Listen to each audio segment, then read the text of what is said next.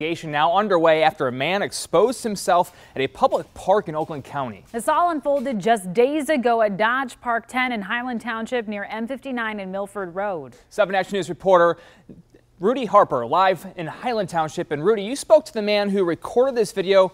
How was he able to catch this on camera? Well, the man behind the lens says this is not the first time that man exposed himself. In fact, he said it happened just a day before. It all went down here in this shelter on top of one of those picnic tables. That man behind the camera says he hopes that this serves as a warning for park goers and parents.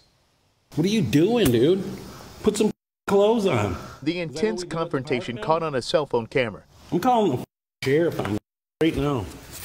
That's Ben Goit's voice. He's angry and confused after another man exposes himself on top of a picnic table.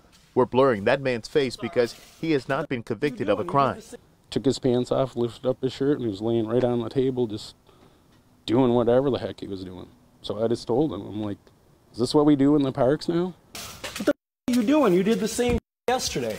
Goit says this video was taken on Friday, and he believes the same man was at the same spot exposing himself a day before. Not even a half a mile from here, there's a daycare that they, uh, you know, the they bring all their little kids down here, you know, on their little field trips or what, you know, they don't want to see that.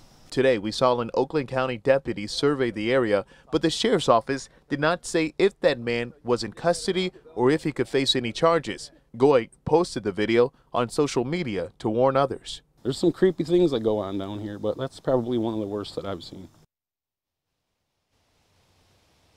And that video goes on for some time. That man apologized for what he did, but later covered his license plate so Goit could not get a picture of it. The sheriff's office is investigating at this time to ID that man.